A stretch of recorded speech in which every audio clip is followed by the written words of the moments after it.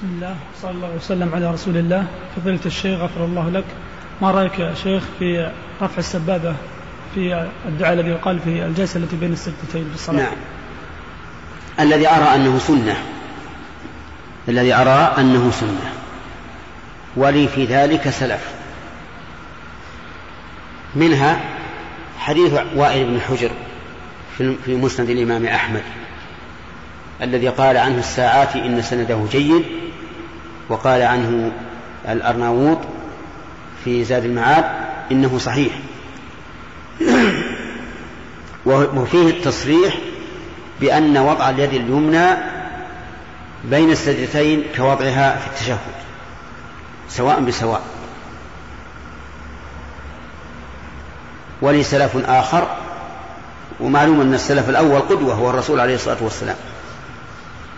وهو ابن القيم في زاد المعاد. فقد صرح بذلك.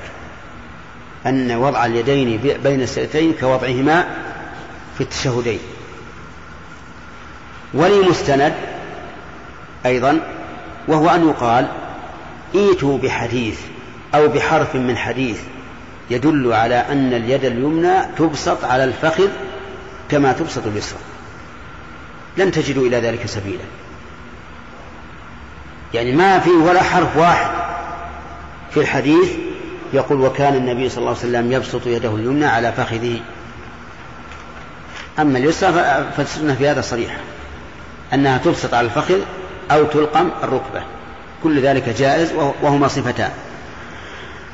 لكن يبقى النظر متى نشير بها؟ متى نشير بها؟ هل نخليها دائما هكذا هكذا؟ يعني أم ماذا؟ الذي فهمت من السنة أنه يشار بها عند الدعاء. يحركها الإنسان إلى فوق كلما دعا. والمناسبة في ذلك أن الدعاء موجه إلى من؟ إلى الله عز وجل. والإشارة إلى العلو إشارة إلى الله عز وجل. هذا هذا ما تبين لي في هذه المسألة. نعم.